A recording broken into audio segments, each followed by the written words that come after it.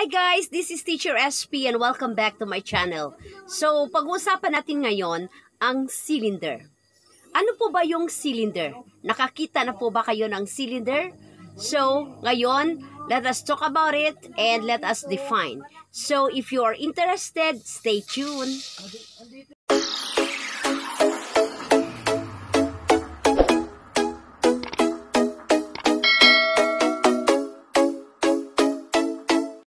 Okay guys, so when we're talking about a cylinder, this sprinkles ay nagre-represent ng cylinder. Wala pong laman ito guys ha.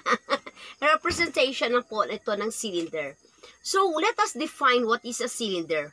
On the board, I have here, it is a solid, bounded by closed cylindrical surface and two parallel lines. Sarado siya Okay? And then two parallel lines. So ngayon, kung pinatayo mo ito, this is uh, what we call the height, the parallel lines here.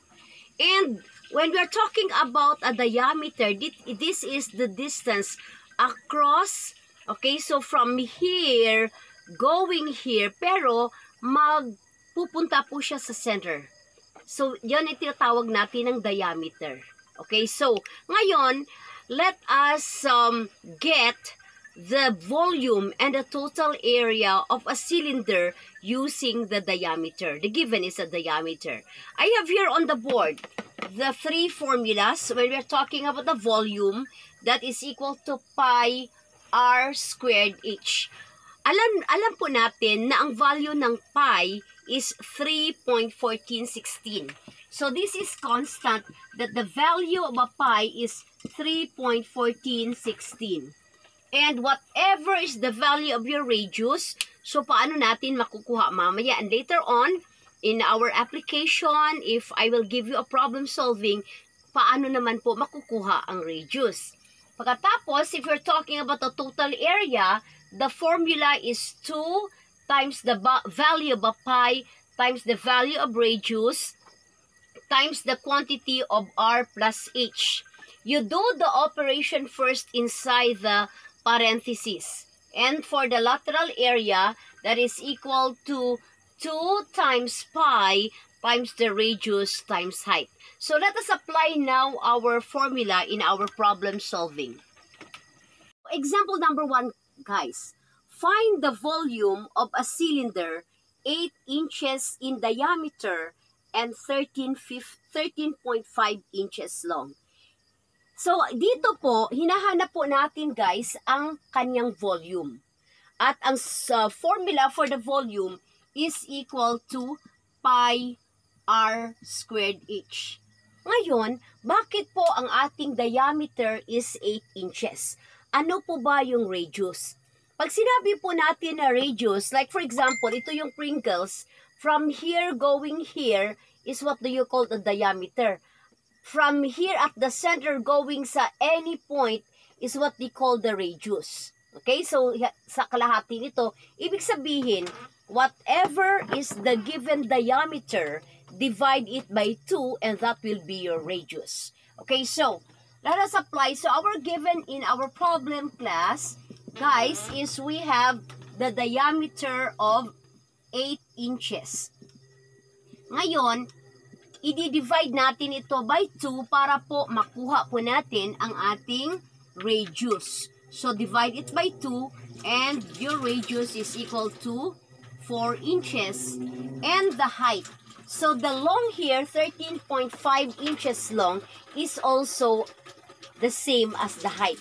So, your height is equal to 13.5 inches long. So, you have already your radius. Okay, take note. Pag diameter ang given, kailangan i-divide mo ito sa 2 para po makuha ninyo ang radius. Okay? And then, you have already your height. So, ang long or altitude or the height, pare-pareho lang po yon. Okay, now, we have already, the, the given are complete. So, what are you going to do is, you are going to substitute your given So volume is equal to, what is the value of a pi? The value of a pi is 3.1416 times the quantity of your radius. Ang radius po natin guys ay 4 raised to the second power times the value of your height which is 13.5. So, we know that this 4 squared meaning you need to multiply a number by itself twice. Okay? So, 3.14 16 times 16 times 13.5. Okay, so therefore, your volume, guys, is equal to, so if you're going to use your calculator, so everybody, multiply it, so 3.14, 16 times 16 times 13.5, then will give you 678.59. So 678.59. What is the unit of measurement? So we know that our unit of measurement that we are using here is inches. So therefore, this is what we call inches cube. Or you can also use guys as cubic inches. So this is the way how are you going to solve for the volume using the diameter. But what about if there is a total area? So kapag naman total area ang hinahanap natin, we are going to use same given. So we know that the formula for the total area is equal to So ang total so we have already our cube, di ba?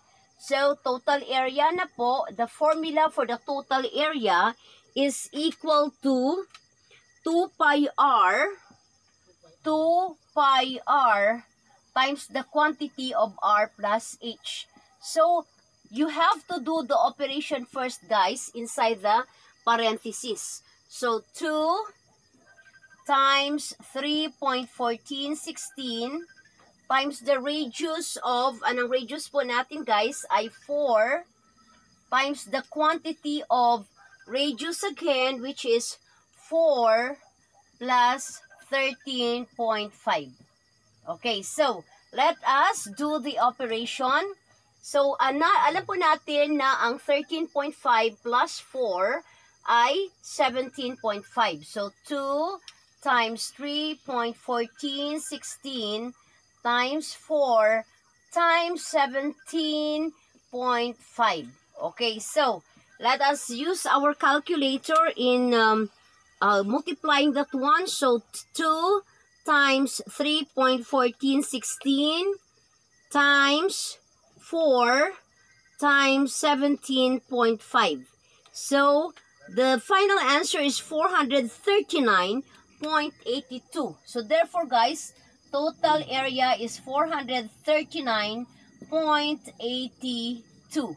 And what is the unit of measurement? The unit of measurement guys is inches squared. So, that's it. How are you going to use or how are you going to compute the volume, the total area given a diameter? So, I hope that you learned something today and have a great day everyone.